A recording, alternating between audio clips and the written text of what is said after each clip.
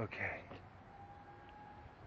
So this is one of the biggest beehives we've ever come across in the wild ever.